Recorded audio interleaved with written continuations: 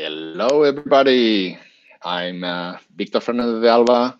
I'm part of the Plone community, uh, and um, I uh, uh part of the Volto team, and which is going to be the default uh, front end for Plone 6. And I would like in this presentation to uh, talk about how does Plone 6 work internally, because uh, we are moving from uh, uh, the classic single monolithic SSR model that Plone 5 and its processors were, and we are using React, JavaScript, server-side rendered front end in front of uh, Plone. And this uh, brings some uh, a lot of yeah questions on how this really work right? So i would like to to make a quick uh, uh, hands-on let's say uh, on how this uh, plone 6 is going to work under the hood. So here is uh, plone 5 right? So it's the classic way of uh, monolithic uh, frameworks and servers. So you have a process that is running uh, on python and uh, this um, uh, this monolithic server is is doing all the work, right? This is uh, uh, getting the content from the database, then uh, making the calculations that is required, uh, calculate also the the other template engine, how it should look like, and then it shows it, it sends the HTML to the to the client that has requested a page, for example. Uh, Plone 6 works in uh, uh, a little bit different. So we still have uh, the classic Python uh, powered uh, process on the back, which is still Plone. And we, we, we will call it from now on Plone 6 the classic server-side rendered. Uh, but we still uh, we have a new component which is the Volto uh, server-side rendered. is the the new Node.js Express app that allows us to uh, server-side rendering the front end. So SEO and uh, other other services that require that the content is not being rendered by the client so uh, gets the the the the actual data into into those services. So again, what is SSR? From now on, we will use this abbreviation. SSR is server-side render. Uh, it allows how it's done. Volto, it's that it's an isomorphic app the, this this means that some code, the same code uh, runs on the client and on the server. Uh, this allows the this this uh, feature allows to write only one, uh, one code, one feature, and then this code is being generated both on the server and in the client. So it generates the first request HTML page uh, so and, and, as I said, this is for for SEO for for uh, crawler web crawlers uh, of uh, uh, search engines that then will make that our page is going to be rendered properly, and then the crawler is going to get all the information, the same information, in fact, that the that the client will have rendered in our browser. Right? It also serves the static resources for loading the app in the client and does some other things in Volto. so how, how it works?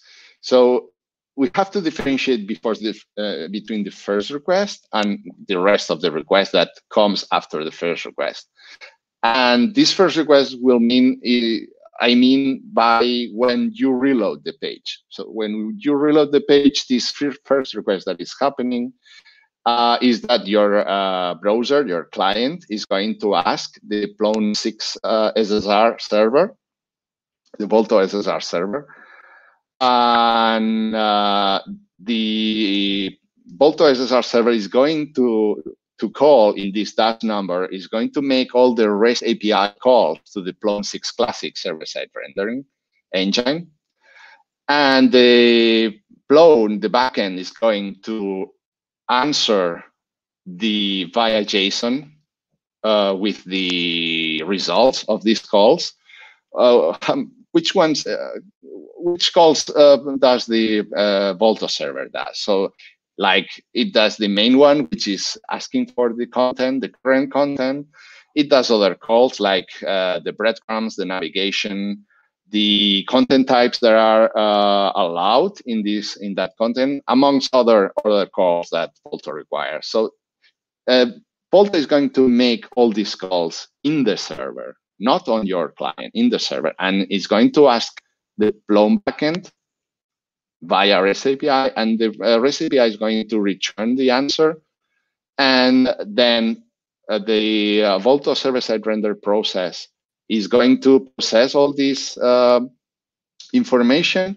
It's going to render the page, and it's going to return the page into the browser, which will be the, the number four, right?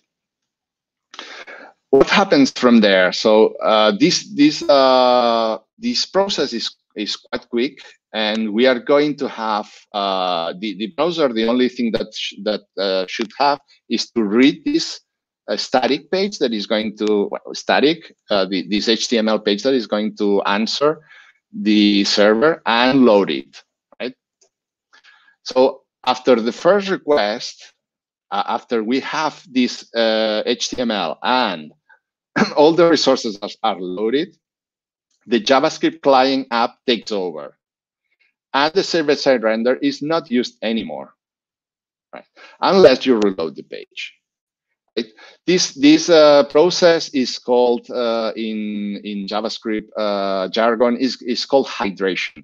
So it's it's when, as I said, is when you receive the first request uh, in HTML and all the resources, and then the browser loads that these resources upon upon these uh, HTML and hydrates, makes uh, the JavaScript live on this uh, HTML, right?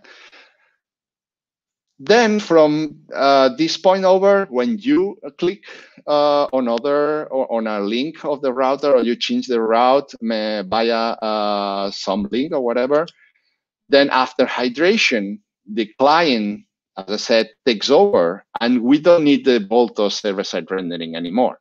Then our client, this Volto that is loaded in our browser is going to take over and is going to make the calls, the REST API calls, right? Uh, yeah. Then what happened in Plone 6 in production? So in Plone 6 in production, uh, we have this both process uh, remember we have the classic uh, Plone's uh, process in the in the server. Still, we, we we are not going to lose that because it's the backend. It's the backend for for uh, for the client for the JavaScript client, right?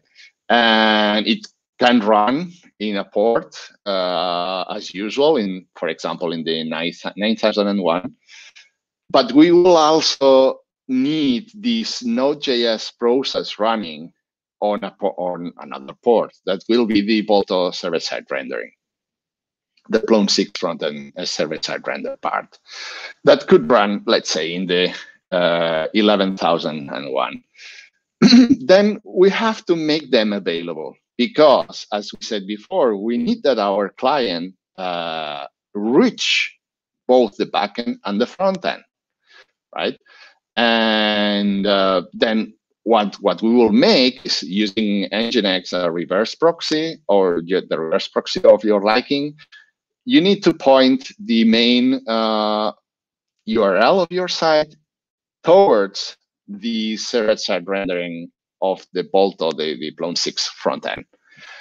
And also, you have to make this uh, the the classic uh, Plone 6 Classic as a service-side rendering uh, Python process also available because your browser is going to ask for it under the hood via XHR request, right? So we will we can put it wherever we want, but uh, yeah, uh, for example, in HTTPS as uh, two slash slash uh, plone.org slash API.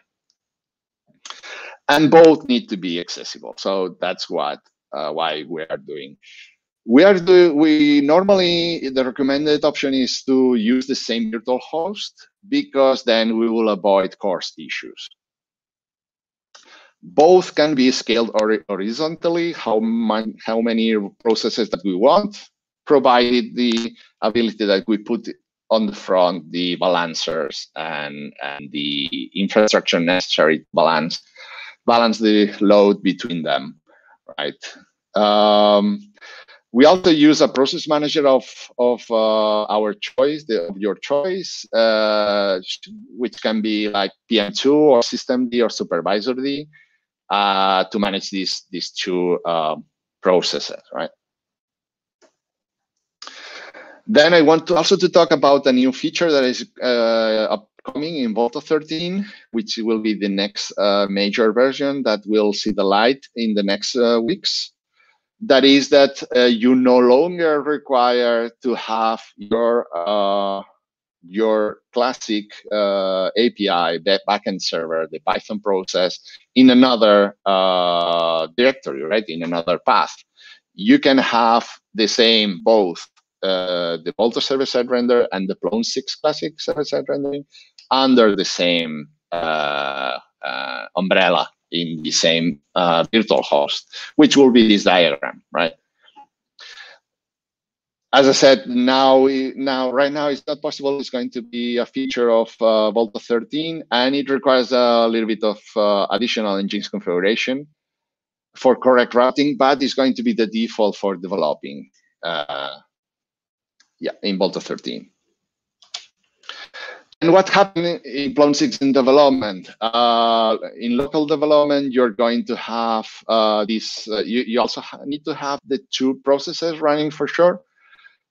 You're going, uh, by default, you're going to have in localhost 3000, the Plone 6 front-end server-side rendering, the Node.js process, and you're going to have also the classic uh, Plone Python process in, in the way.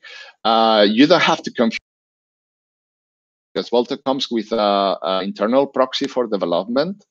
So, uh, and it's pointing to this uh, default uh, localhost 8080 slash Plone by default, but you can change to whatever uh, uh, site that you're developing or, or match to your developing likings, right?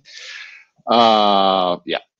And uh, by default, uh, this proxy is pointing, yeah, as I said, to this uh, URL and their localhost 3000 API.